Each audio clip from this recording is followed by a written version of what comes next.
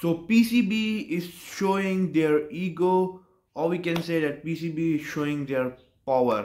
माशाल्लाह से पीसीबी ने Haris Rauf Pakistani right arm fast bowler का जो सेंट्रल कॉन्ट्रैक्ट है, उसको टर्मिनेट कर दिया है due due to some reasons और रीजंस क्या हैं? कि उस उन्होंने उनको, उसको कहा कि यार ऑस्ट्रेलिया हमारे साथ रेड बॉल खेलने चलो। रेड बॉल अच्छा इमेजिन करो आप लोग, ये बात मैं पहले भी कर चुका हूँ रेड बॉल खेलने चलो, ताकि आप वनडे में दस आवर आपसे नहीं हो रहे और आप रेड बॉल में जाके कॉन्स्टेंटली बॉलिंग कराओ without any practice without any उसने कहा, नहीं, मैं अपनी बिग बैश खेलूँगा। लेकिन इससे पीसीबी ऑफेंड हो गया है और पीसीबी ने कहा अच्छा हमारे साथ लांझे तो पीसीबी ने ना खाली उसका सेंट्रल कॉन्ट्रैक्ट टर्मिनेट कर दिया है थर्टीथ जून 2024 तक हारिस रऊफ को कोई भी ओवरसीज़ लीग खेलने अलाउड नहीं है।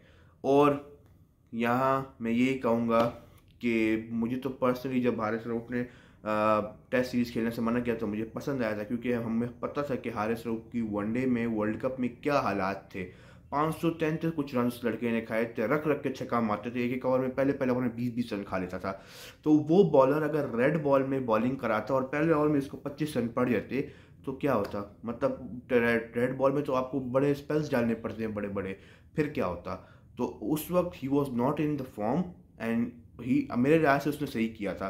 विड्रॉन कर दिया था टेस्ट मैच टेस्ट सीरीज़ से। लेकिन वही बात है पीसीबी तो कहते हैं, हम तो मई बाप पे हमें कैसे ना किया?